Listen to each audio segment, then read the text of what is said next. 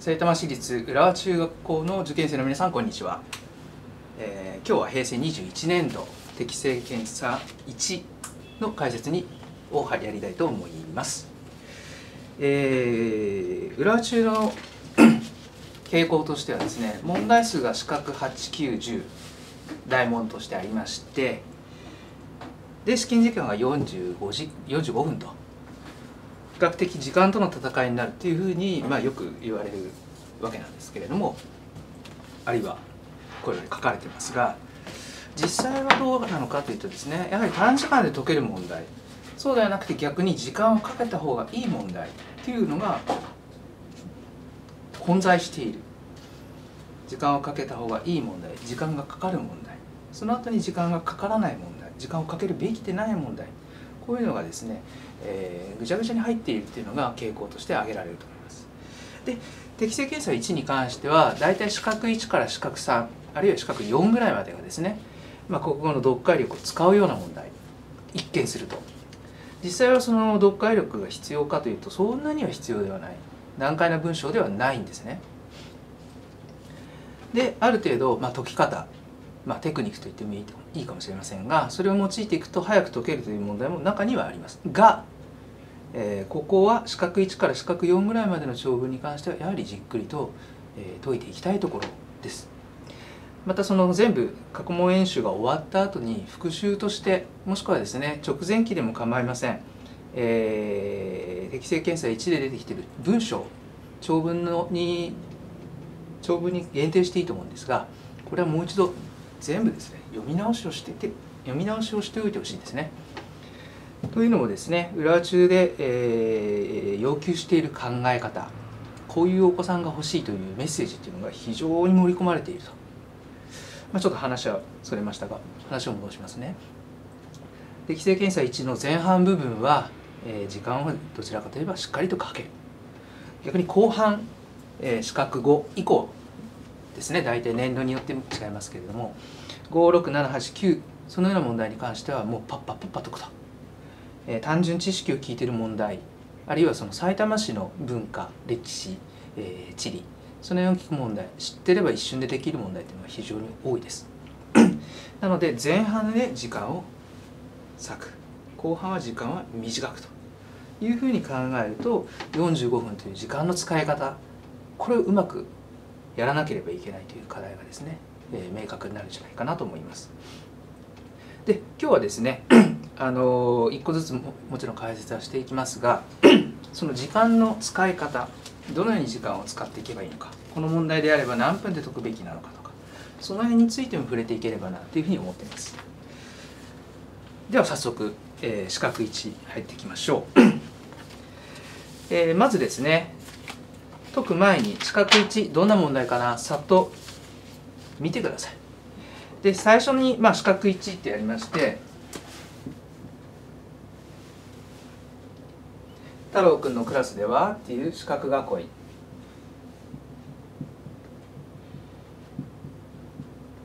大概どの問題にも載ってますありますが、まあ、前提文と言います。前提文ですね。この前提文の中に今回のテーマですね。今回は福祉ですよと。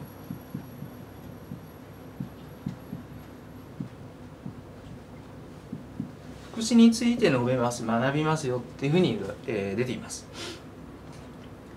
で次はボランティア活動ですよとかですね、まあ、そこの福祉についてボランティア活動についてやりますと。ここがこの問題のテーマになるのでまずしっかりと読む。その上で四角囲いされた本文がありますよね。ここもさーっとまあ飛ばすと。見るだけで。すいろいろ書いてあるな。番号が振ってあるな。発言17から26は問い1にあります。あ並び替える問題だな。この辺を確認しておきます。いいですか？用意始めと言われた時にまず前提文をしっかり見るあテーマは福祉テーマを押さえるわけですね。その上で本文がある。どんな本文かな？さっと見る。で問いを見る。あ並び替えだな。で例えば問い2であれば、えー、発言61213をこの説明。あそれぞれの内容について考えればいいんだな。そうすると本文を読みながらどんどん解き進めていって読み終わった時にはある程度まあ、ある程度というよりも問1問2両方とも終わってしまう。その上で四角2に入るわけですね。よしよし四角2に入ろうと。で裏打ちの場合四角2の問題の中に四角1の例えばこの本文の中からこの言葉を探しなさいというような問題もたまにあります。なのでここの本文は、えー、今はさっと見ます。最初はさっと見ます。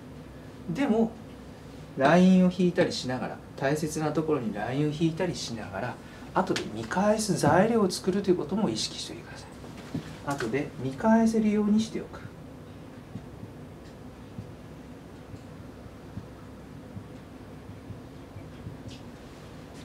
ですね、まあ、四角2もしくは四角3あるいは四角4の中に例えば四角4に四角1の本文の中から探しなさいという問いがあったりしますね。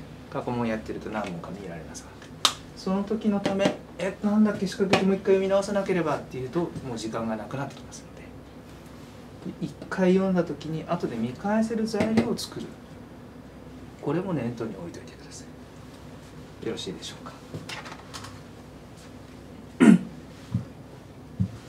ではですね早速いきます、えー、並び替えるんだなボランティア活動について、えー、会話の内容を発言の内容を並び替えなければいけない。でこの場合どういうふうにするかというとですね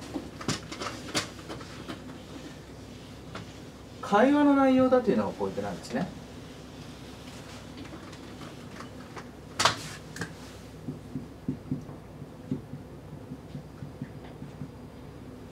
会話というのは 誰かが話をかけたら相手側はそれに対して答えます。つまり会話というのは前後が前後の内容が対応するべきなんですね。対応しているべきなわけですよ。例えば、うん、カマキリについて説明をしている。なんか話をしたと。A さんがですね。B さんは、うん、カマキリはね当然カマキリ例えば好きだ。私は嫌いだ。というように会話の中に内容が必ずリンクする。対応するわけですね。この会話自体が長くなれば、まあ、このキーワードが関連しているというキーワードリンクという考え方で並び替えることもできます。でカマキリは嫌いですよ。C さんカマキリについて言う？いやいや私もカマキリどうだろうこうたらだけどバッタは好きだよと。ここはここであるいはバッタは嫌いだよと。やはり対応してくるわけですね。嫌い嫌いとか。でそれを受けて D さんがまた「嫌いと言ったらね」と「トンボは嫌いだよ」と。わかりますか？そうすると会話は対応しますのでカマキリグループと、まあ、例えば嫌い嫌いグループとか。こういうふうにグループ分けをしていくことが可能なわけですね。もちろん全てが全てそうであるとは言えませんが十中八九。ましてましてやその45分という短い時間の中に発言内容を並び替えなさいという問題を作る以上はですねやはりこの対応っていうのを出題者は意識して作ってるはずなんですね。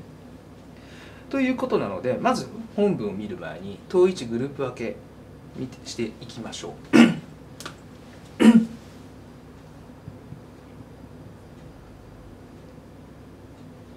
全部で10の文章があるわけですね。まずあ僕も D さんに賛成です。僕も D に賛成。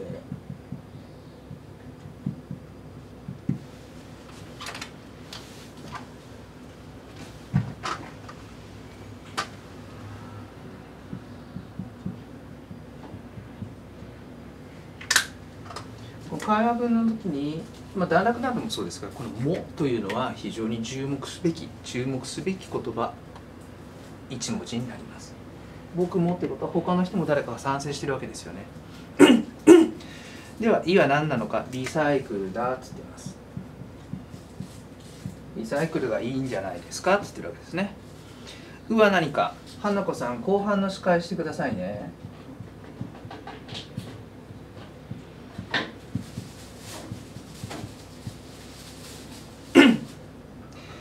ええー、B 君と E 君の意見に賛成です。B と E を合体させましょう。合わせましょうって言ってます。お。ではこうしてはどうですか？2つのグループ分け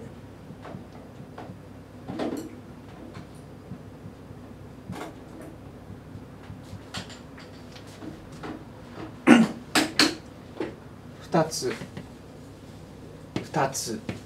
とか思いながらですねやっていくわけですね。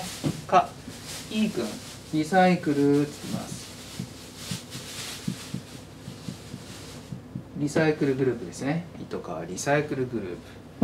きでは交代です。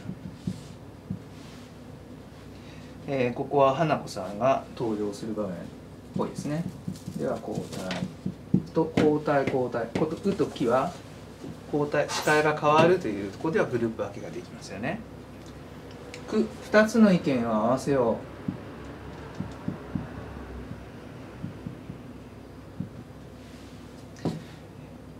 け、えー、拾った機関やなんたらかんたらなんたらかんたらこれもリサイクルの話ですね。こ2つの意見を合わせよう。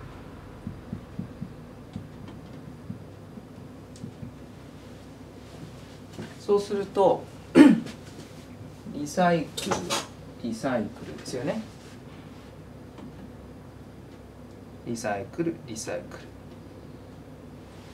ル。あリサイクル。もう一回ありますね。P かけがリサイクルグループと。で視界を変えましょうね。視界が変わりますよ。うときですよね。ここからは後半の視界になりましょう。お願いします。はいわかりました。つまりう時は同じグループであると同時にうきという内容になりますよね。うきという流れになると。2つ合わせようね。あと残り2つ合わせようですよね。じゃあ三角にしましょうか。2つ合わせよう2つ合わせよう2つ合わせよう2つ合わせようと。後でちょっと浮いちゃいますけど D 君に賛成しているのでどっかで D 君の発言があるわけですよね。と今丸と四角と三角とリサイクルグループ視界が変わる。それから2つに合わせよう。という3つのグループに分かれました。当然この視界が変わりますよは最初に来ないですよね。並び替えの最初には来ないですよね。真ん中ぐらい。もしくは最後ですよね。で、えー、本文の内容にここで入るわけですね。えー、丸1丸2って読んでいくと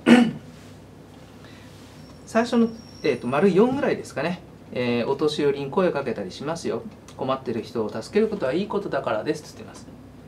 はい B 君他に意見ありますか？掃除がいいんじゃないかな？えー、太郎君が言いますね。はい C 君あ B 君が言ってその後太郎君はい C 君どうぞ。どんな枯れ葉が多いんですか？いやイチョウの葉が多いんだよ。B 君は答え C 君おじいさん掃除毎日毎朝してんの？花子さん。ちょちょちょちょっと待ってし今ボランティア活動の話だからこれちょあなたの話ちょっと違うんじゃないの？たしなめてますね。で D さんどうぞ、えー、B 君に賛成です。みんなでやった方がいいんじゃないかな？ではい E 君がはい E 君。の えー、答えてくださいと。と E 君が何を言うのか、えー、とまずはお年寄りに声をかける。体の不自由な目が不自由な人に声をかけるっていう発言がありました。掃除をするのがいいんじゃないかな。それ以外にボランティアの活動として何がいいですか？それに対して E 君が何らかの意見を言ってる。この中で意見を言ってるものは B と E を2つ ,2 つに、えー、2つを合わせようというのは B 君の意見と E 君の意見を合わせましょうなので分かりますよね？最初にはやはり来ないですよね。なぜならば E 君はまだ発言してないからですね。とすると最初に E 君はこのリサイクルについて話してるはずだと。言えるわけですね。じゃあ E 君のリサイクルの発言、えー、いかけの中から見ていくと どうなのか。かを見ると E 君どうしてリサイクルになるんですかって言ってるのでかは来ません。けこうこうこうだからもみしなにしなくて済むんですよ。これ理由ですよね。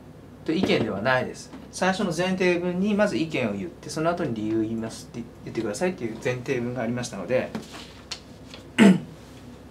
ごめんなさい。最初の花子さんの説、えっと、発言ですね。丸2のところに書かれてます、えっと、E 君の意見は「い」であるということが言えると。ゴミにするのはもったいないんじゃないの？って言ってるわけですね。どうしてそれがリリサイクルになるんだよ。だってだってこうだもん。意見があり尋ねられて理由を言うとと「いい」か「け」と。すぐ揃うわけですね。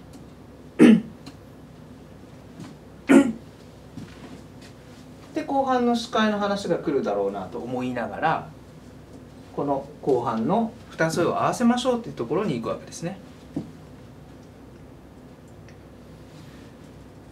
ですか？今は「い」「か」「け」でおそらくここに司会が変わりますよっていうのが来ると。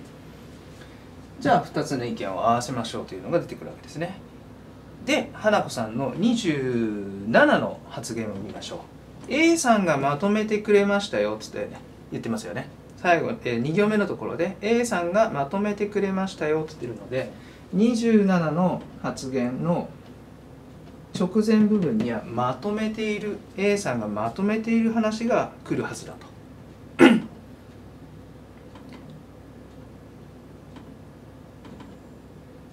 で、えー、グループを分けましょうねって話をしてる。グループを2つに分けましょうねって言ってるこの「お」ですよね。これが A さんの発言なわけですね。直前部分に「お」が来る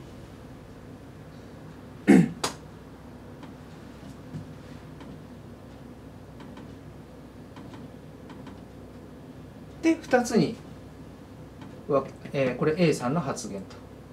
A さんの発言ですよね。でここで「こ」を見ると「はい A さん」A さん当ててますよね。当てられた A さんが「お」の発言をするのでその直前が「こ」になると。いいですね。あとは「え」と「く」とあ「あ」と「え」と「く」ですねで僕も D に賛成ですよっつってので「あ」は先には来ません。後ろの方ですね。こちらには来ないわけですね。絵なのか句なのかどちらかですね。2つの意見を合わせようというのですね。句は確認をしています。ということはまず絵が来てそれを確認して合わせようというわけですねと。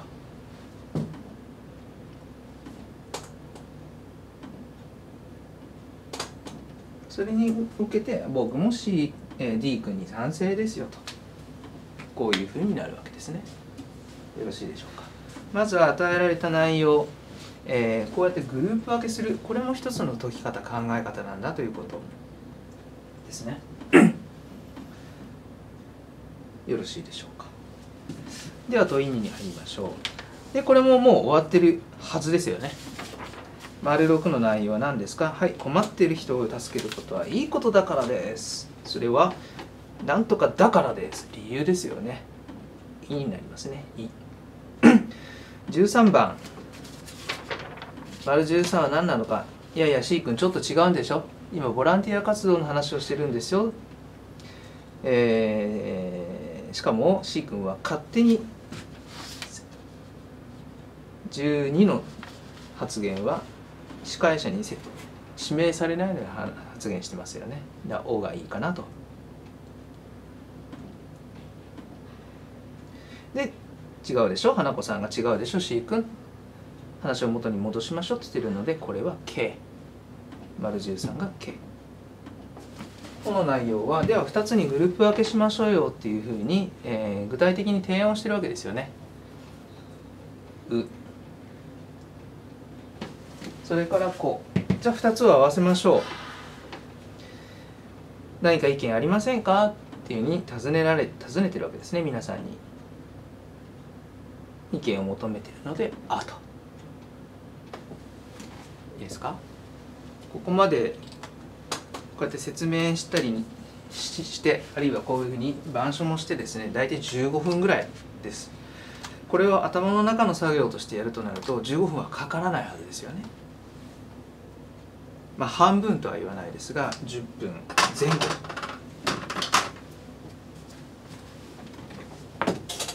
で時間をかければこの問題に関しては必ず取れる問題です。なのでしっかりと時間をかけていい問題だと思ってください、えー、目標回答時間としては10分前後ですね。10分以内という感じです。よろしいでしょうか。では四角に入りますね。四角にも前提文ボランティア活動ですよ。車椅子ですよ。バリアフリーです。今度はバリアバリアフリーの話ですね。前提文を見ます。で本文をさっと見ると、えー、問1「あ」から「え」が入ります。ここも、えー、並び替えですよねおそらく。で空欄 A に当てはまる言葉は何ですかというのはおそらくあるわけですね。じゃあこれも 先ほど使ったキーワードリンク。これでいってみましょうまず問1「あ」から「え」が入りますの。前の部分を見ると役所郵便局銀行などに設けられている記入代これが使えないんです。っていうお話になってます。役所や郵便局。えー、銀行などの受付カウンターも同じことですよ。車椅子にとっては高すぎます。って言ってます。と1の「あ」から読みると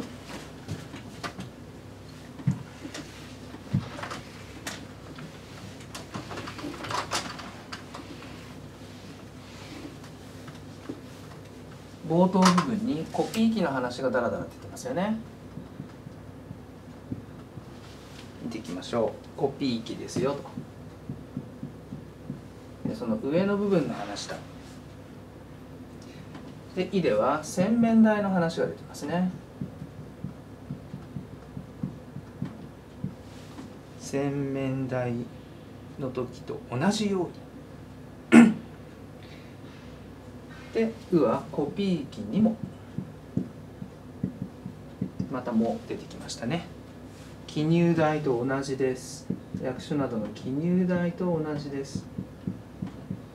のリンクなのでこの記入台と同じだからコピーラインも同じなんですよ。この「う」が最初に来るわけですね。絵はコピー機の下の部分にもとかいう下の部分はというのが書かれてますよね。で洗面台というのも絵の文章の後半部分に出てる。洗面台洗面台。これもリンクしてるなと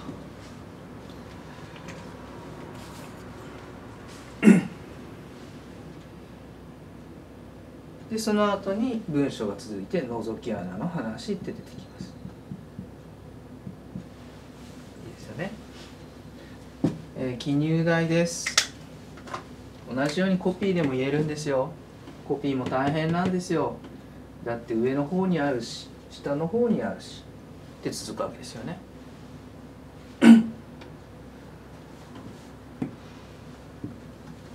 で実は洗面台もそうなんですよ。これも具体例として次に出てきたわけですよ。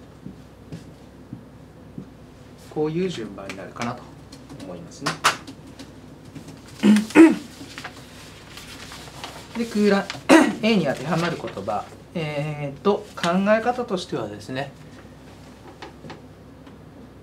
当てはめて読んでみる。これが一番いいと思います。ただ空欄への後その関係逆転しますよと話が逆になるんですよって言っているのでこれは逆説の接続詞ところがが入るというふうに考えてもよろしいです。いいですかではどんどんいきましょう。問い3ですね。車椅子にとってのバリア。これは何なのかですね。でわざわざこの問題問い3の前にまた前提文のようなものがあってまたちょっとした本文がありますよね。太郎君と花子さんの会話があります。これはヒントになっているということを忘れないでください。意味のない文はないんだということですね。問題文に意味のないことはないと思ってじゃあ意味があるんだろう。どんな意味があるんだろう。ヒントっていうことです。ヒントっていうことです。バリアって何か？防壁障壁邪魔だと言ってますね。妨げ邪魔だと。車椅子にとって邪魔になるもの妨げになっているもの。それは何なのか使いづらいもの。っていうことですよね。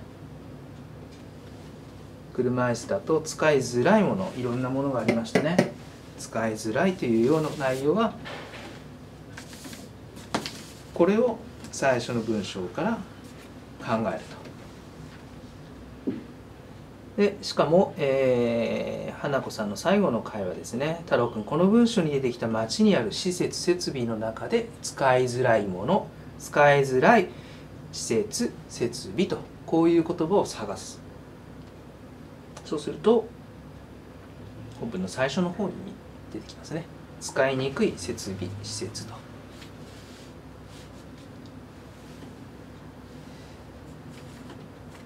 では4番ですね。これも探しましょうという問題基本的に立っている人を何々として作られていますよと、えー、街中にある施設や設備というのは基本的に立っている人が立っている人のことしか考えてない設備や施設だということですよね。これも探すだけですね。前提という言葉があります。前提ですね。前提という言葉ですね。でコピー機洗面台。括弧のには何なのか。コピー機洗面台。覗き穴ですね。ホテルの覗き穴。ドアの覗き穴と。それからバリアとならないようにどうされてるのか。これも後半の方を見ていくと分かるかなと思います。工夫されてるわけですね。工夫です。工夫。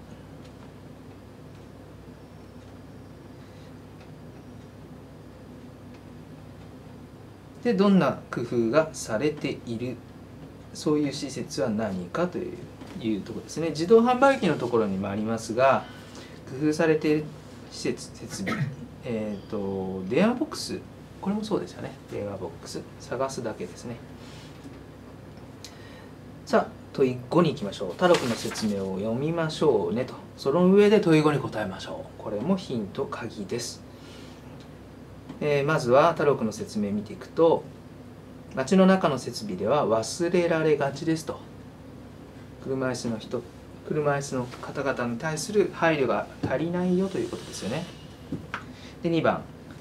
じゃあどれが邪魔になるのか妨げになるのかこれを考えましょう。認識しましょう。そしてバリアフリーという考え方がありますと。3番で説明していると。僕たちは商品を作ったり建物を設計することはできないけれどもお手伝いはできますよね。お手伝いはできる。じゃあ手伝うという言葉に近いものどっかないかなって探してみてください。解除という言葉がありますね。よろしいでしょうか。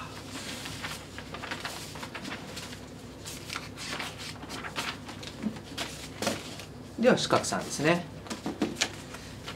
まあ、四角に自体四角さに入る前に四角に自体で見ていくとここまでだいたい78分、まあ、説明をしながら本文読む時間とかもちろん取ってませんけど説明しながら78分。ということはかけるべき時間としても、まあ、頭の中でやる作業文章を読まなきゃいけない時間これを考えてもやはり同じぐらいの時間ですね、まあ、10分以内。だここまでの問題でえー、45分の試験時間検査時間の半分ちょっと足りないぐらいの時間は、まあ、使っても問題はないかなと。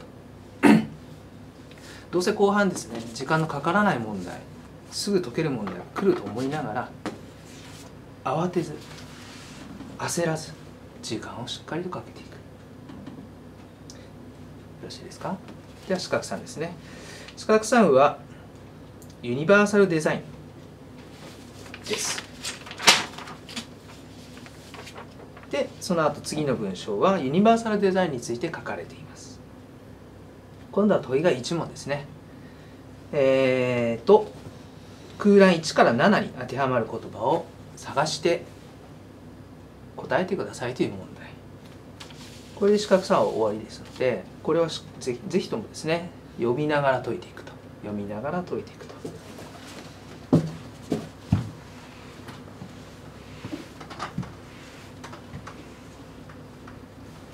でその際ですね、まあ、この問題に限定せずですね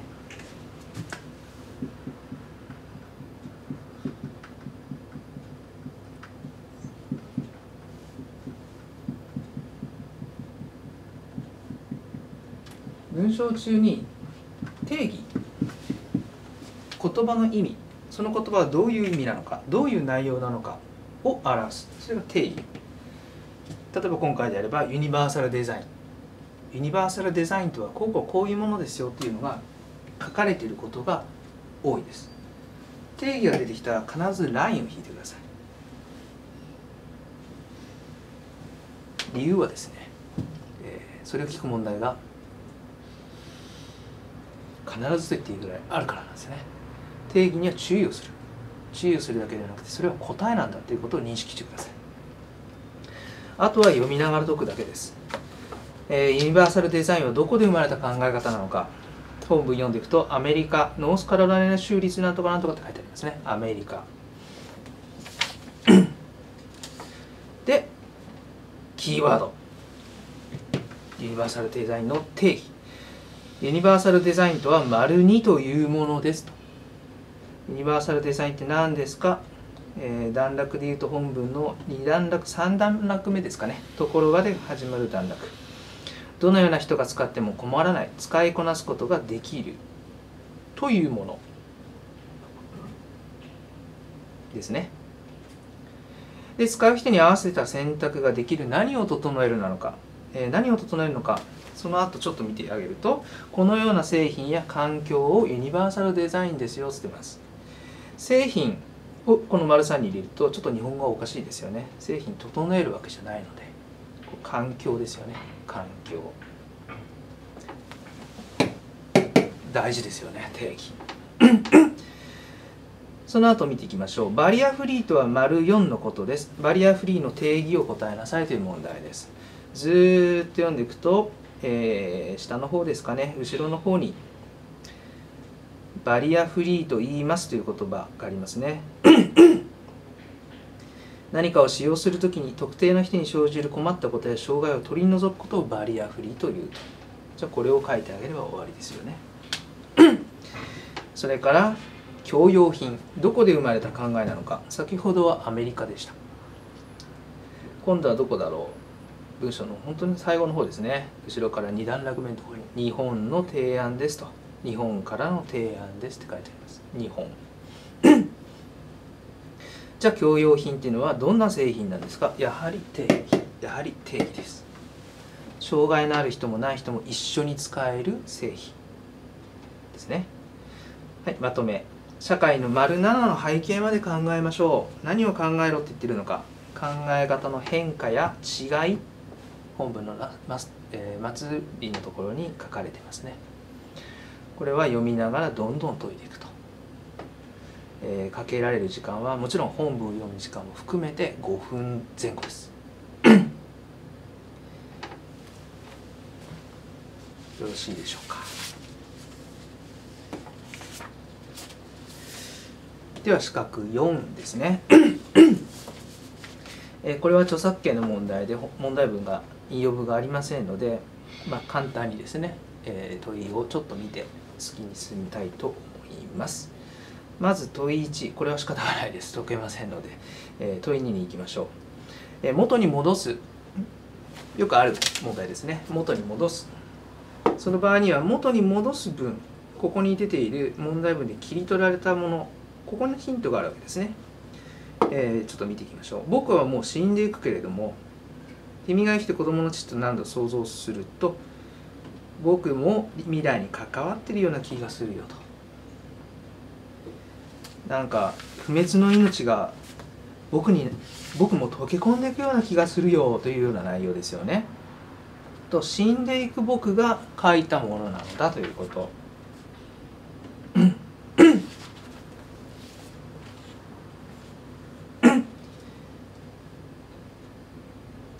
く僕が書いたものなのだということが分かるのでその段落をそのそういった内容になっている段落の近辺に当てはめて考えると。問い3また間違った感じですね。まあ、えー、毎年のように言ってますが見つからなかったら見つからなかったら飛ばしてください。時間がある場合にはやっていきましょう。探し方は熟語だけ見ていく。熟語だけ見ていくわけですね。これで違う。これは OK これは OK これは OKOKOKOKOK あこれ違う。そんな感じでやってください。で問い4もできないので問い5を見ていきましょう。丸さん君の最後の心について F の最後の心を受け止めた M の気持ちを説明したのが四角です。って書いてあります、えー、空欄を埋めなさい。で空欄の前後に似た表現を本文から探してください。例えば「あ」であれば自分の何かがない。自分の何かがない。で不幸だと考えていた。これと似た表現を探すんですね「い」であれば友が最後の何かを尽くしてくれた。お友達が最後の最後で何かをしやってくれたわけですよね。それと同じような表現、えー、当時の自分と比較すると「うだ」と自覚したわけですね。しかも痛烈に「うだ」と痛烈に自覚した。これと同じような内容を探すと。よろしいですか？では四角5です、えー、埼玉市のまた問題ですね。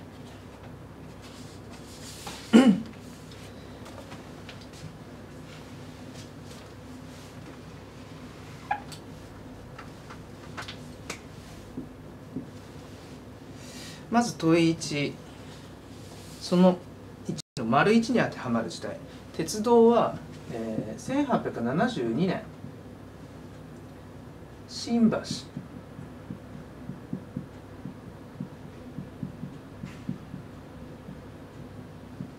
横浜間。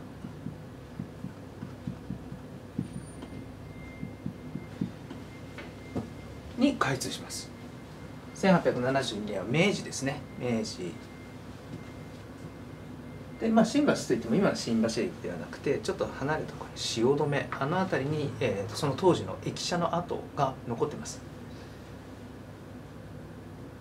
まあそんなにスピードは速くなかったみたいですね。時速30キロぐらいだったとか言ってましたね。ただ、えー、と横浜まで、えー、数時間かかってたものが比較的短い時間であの行くことができるようになったので非常に便利であったと。で横浜になぜわざわざ作ったのかというとですね例えば当時の偉い人ですよね、えー、皆さんも名前知ってる大久保さんとかえー、伊藤さんとか大隈さんとか、まあ、明治の明治維新をやり遂げた人たちですよね。木戸さんとか。この人たちはですね馬車で新橋まで行くんですね。馬車で新橋まで行くと。で電車に乗る、まあ、電車というか蒸気機関車ですけれども。蒸気機関車に乗って横浜に行く。横浜から船で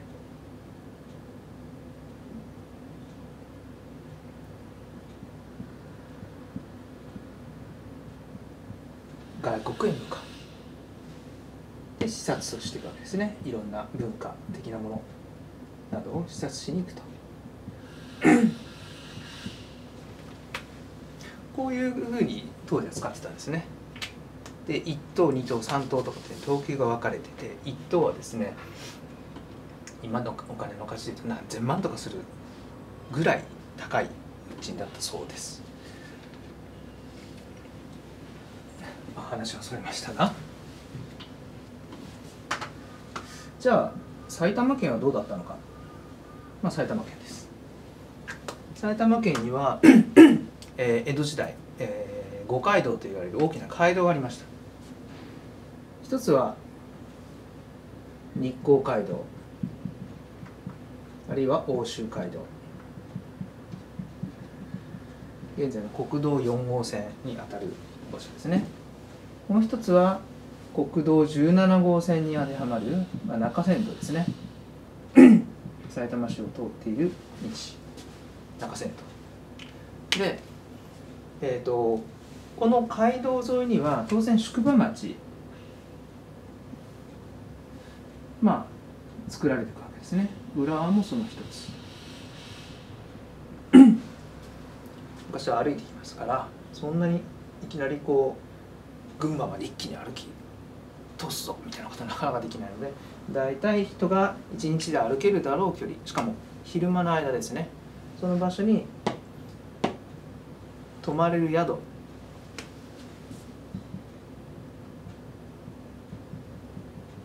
それを中心に栄えた町宿場町っていうのが発達するわけです。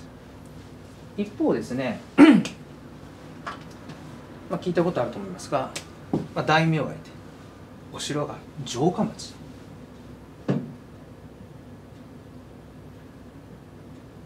例えばさいたま市の近辺に行くとまあ、埼玉市内に岩槻がありますね。お隣西側に行けば川越があると。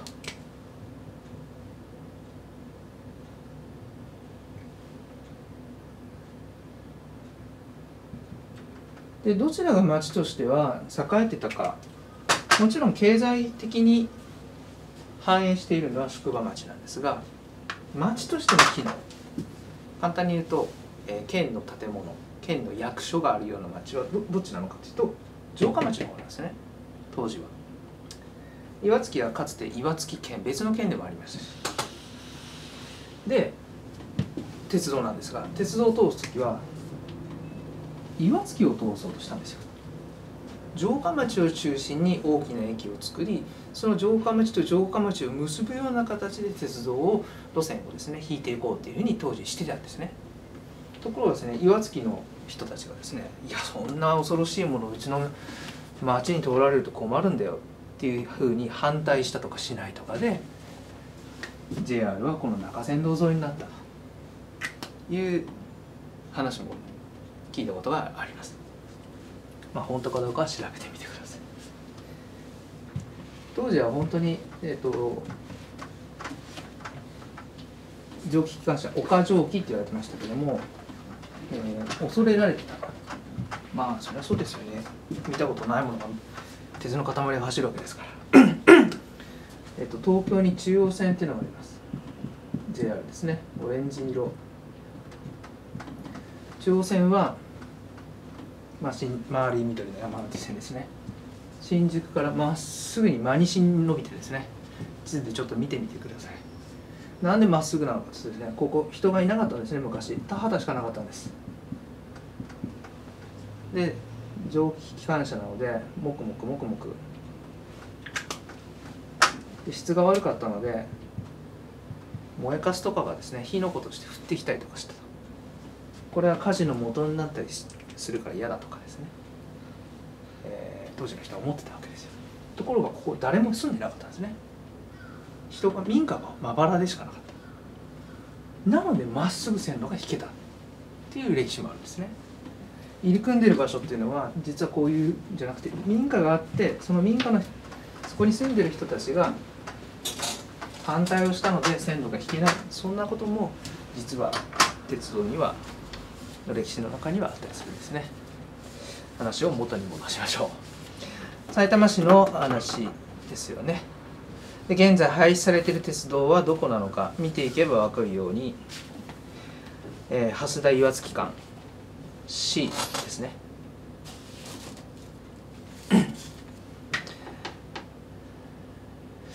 はいでは問い3ですね。さいたま市内の JR の各駅について。資料の2を見ましょう。あいうえおがありますね。えー、京浜東北線や東北本線宇都宮線もしくは高崎線はさいたま市内をさいたま市があると南北に突きってます。したがってそのとそこの駅も比較的数が見ての通り多いんですね。ところが埼京線武蔵野線の駅はそんなに多くないのでその武蔵野線埼京線川越線などの「あ」や「う」や「お」ここから駅名を考えていくといいでしょうね。例えば武蔵野線が通ってるのは武蔵浦和と西浦和ですね。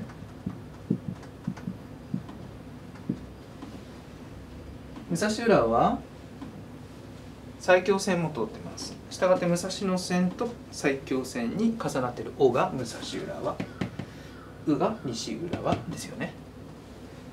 で埼京線川越線が通っているあの駅。あの駅は乗客数も非常に多いです。これ当然大宮駅ですよね。大宮駅と。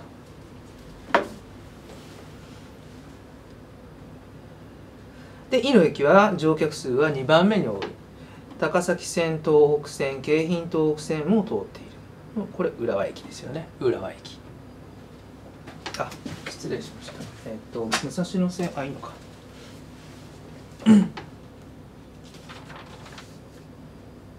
あそうですね。失礼しました。武蔵野線が通っているのは南浦和ですね。南浦和。うが南浦和です。うが南浦和ですね。西浦和は出てました。失礼しました。失礼しましたで残った A これが浦和中のある北浦和ですね。北浦和と。よろしいでしょうか。はいでは問い4です。千葉埼玉神奈川の昼間の人口夜間の人口より少ない。鉄道と関連させなさい。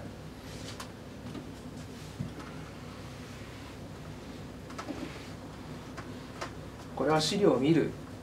資料を読み取る問題というよりはやはり知識です。知識ですね、えー、埼玉県はベッドタウンです。都心部東京東京の方に通勤や通学で通う人がいる。で昼間の人口は減りますよね。夕方はもちろんその人たちは帰宅しますので夜間人口は増えると。じゃあ鉄道と関連して何なのかっていうと結局はその通勤通学あるいは買い物などで鉄道を都心に都心につながっている鉄道を利用していくそういうような感じのことを書けばいいいいわけですね。昼は都心に通勤通学などで都心とつながっている鉄道を利用して移動しているからですね。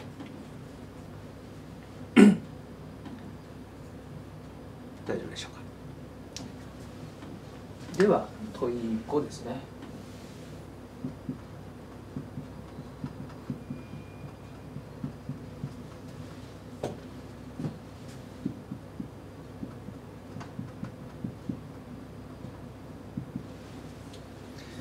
えっと昭和30年と平成17年真ん中は考えなくていいです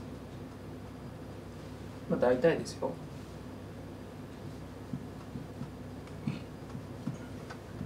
16.682 1 0.1と。66 28 0.3 5.9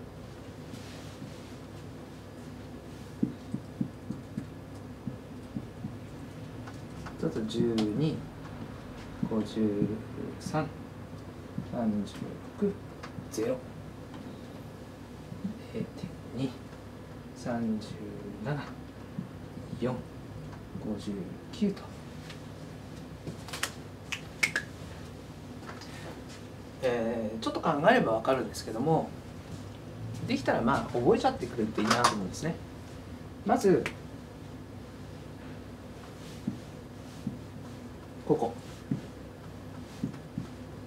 からここ。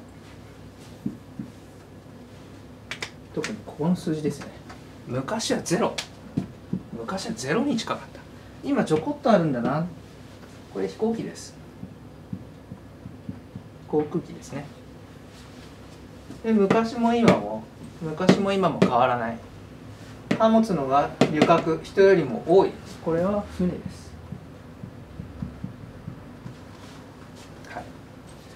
昔は少なかった。昔は少なかった。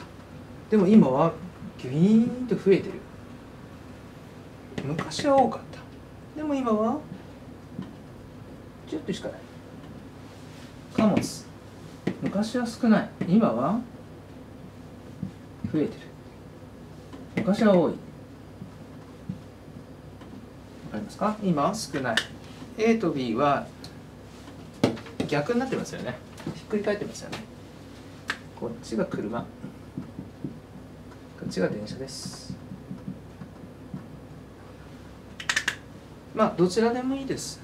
人旅客っていうのは人なので、えー、と皆さん自身がですね一番乗るものなんだろうって考えてください。電車電車なのか車なのか船なのか飛行機なのか。一番乗るの車ですよね。乗らないの船ですよね逆に。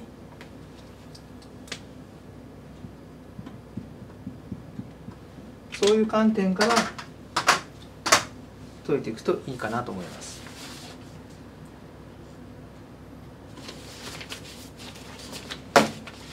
それから太郎くんと花子さんの会話その2これも今お話をした通りのことが書かれています。これもヒントです。問題文に無駄がないということですね。で問い6ですね。あといモーダルシフト何が保護されるのか。自動車ではなくて、えー、電車などを使うことによって自動車がを使うと保護されないもの逆に言うと破壊されてしまうものがあるということを考える。これは環境ですよね。で何が減らせるのか自動車を使わない。そうすると燃料を使わなくて済みますよね。燃料の削減と。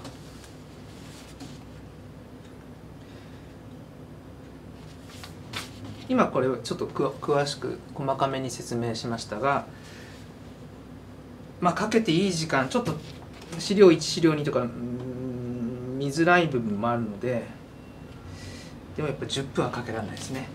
56分でちゃっちゃっと解きたいところです。四角6人物。まあ歴史ですね。これもちょっと作業量が多いので時間がかかるかなとは思いますが聞いている内容自体はそんなに難しいことではなくやはり教科書で太字で出てきている部分の問題です。で浦和中あの徳川家康とかですね。それから源頼朝、えー、人物名でいろいろ書いてありますが藤原道長。順番にいきましょう。えーと、聖徳太子藤原道長。徳川家康。が好きです。でここには出てないですが源頼朝。好きです。一つ忘れてました。足利義満も好きですね。この近辺の時代はしっかりと抑えようということです。少なくともですよ。少なくともね。あとは知識ですね。えー、問い4を見ると中線と先ほどやりましたね。5もやりました。6これ実際見に見たことがある人いるかもしれませんけど一里塚って言います。一里塚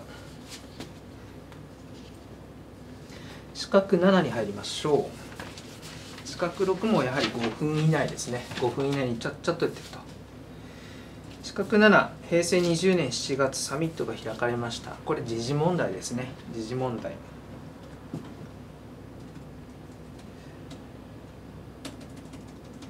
まず A は、まあ、今の段階では解けなくてもいいかなとは思います。ただ知識としては持っててもいいかなと思うので洞爺湖です。洞爺湖。で漢字で書かなくていいっていうのがありがたいですね。ちょっと難しい感じです。えー、問い2の括弧1いきます。G8 に含まれない国は中国。中華人民共和国です。中華人民共和国と。括弧 2G7 ここからバーミンガム会議にから新たに加わったのは、まあ、98年っていうのがポイントではあるんですがロシアですね。98年がポイントなんですそれまでロシアという国はなくてソビエト連邦ソ連だったんですね。ソ連が社会主義の国。社会主義体制が崩壊して資本主義体制今のロシアに変わったと思ってください。土井さんこれはできなくていいです。今は。今はできなくていいです。ただそうなんだっていうのは知っておくっていうのは必要かなと思いますね。2050 50という言葉が入ります。50という数字が入ります。四角7はそうですね。2分3分ぐらいでしょうか。さあ最後の問題ですね。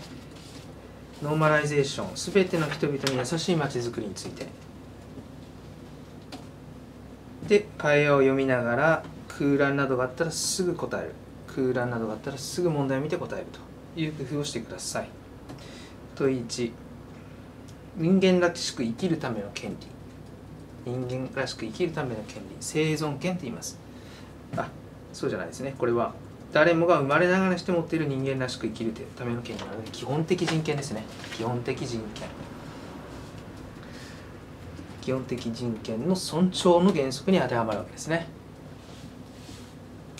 2番予算どの機関で決められるのか。埼玉市議会ですね。埼玉市議会。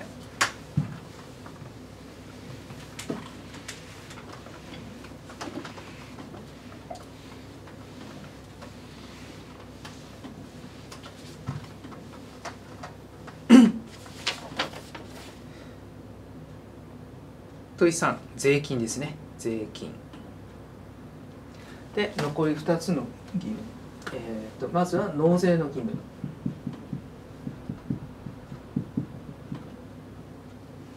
それから勤労の義務。もう一個。教育の義務。という人がいますが違うんですね。教育を受けさせる義務です。三大義務はですね納税勤労教育を受けさせる義務。誰が受けさせるのか？親です。誰に受けさせるのか？子供です。皆さんは教育の義務教育をしなきゃいけない。勉強しなきゃいけない義務はないんですね。お父さんやお母さんが教育を皆さんに受けさせなきゃいけない義務があります、えー、例えば小学校にうちの子は通わせないとお父さんお母さんは実はですねえー、逮捕はされないんですけどもこの義務違反としてですね、えー、処罰を受けます、はい、皆さんには勉強する義務はないんです。でも頑張って勉強してください。はい。では問い4ですねこれ消費税ですね。消費税、えー、間もなく8%やがては10%に上がる消費税です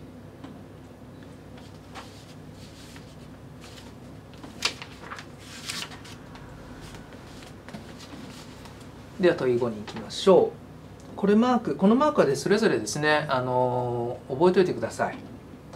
まず「あ」はですねこれ身体障害者の標識なんですね。四つ葉マークって言います。四つ葉マーク。身体障害者の標識です「い」はですね、えー、若葉マーク。車に貼ってあるのを見たことある人がいるんじゃないかなと思いますね、えー、初心者運転。運転免許証を取得して1年以内の人がこれをつける義務があります「う」は分かりますよね。車椅子のマーク。え「え」はこれはもみじマークです。もみじマークですね、えー、高齢運転者お年を召された方が自動車運転するときに貼ってもらえるといいなということです。貼らなければいけないというわけじゃないです。自動車に貼ってほしいな。ただこう形が良くないというので今違うデザインのものもあります。そして「お」これが聴覚障害者です。聴覚障害者のマークと。聴々と聴覚をそあのかけたのか。それとも耳の形が蝶々に似てるのか。どっちかどちらでしょうかね。では問い6ですね。最後の問題です。えっ、とこのマークま、JR 東日本のホームページに売りてありますので JR のマークだっていうのは分かると思うんですが鉄道にいろいろ貼られてますよね。一番左側は小さな赤ちゃんあ、まあ、子供がいると。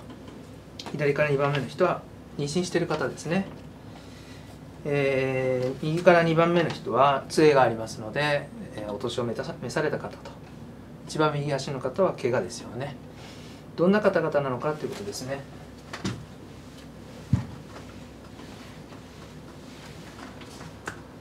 でえっとまあ弱いそれから大変な人たちっていうのはやめてこの言葉を覚えておきましょうここでは。社会的に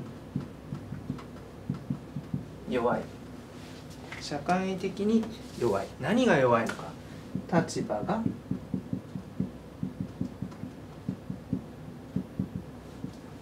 ていう言葉をここで覚えておきましょう。と言ってもこれ当日浮かんでこないですよね。浮かんでこないですよね。なので、えーと、例えばですね。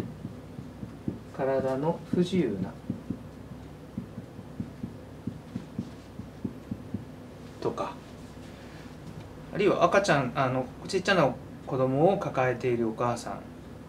あるいは妊娠されてる方っていうのは別に不自由じゃないですよね。体の自由が利かない。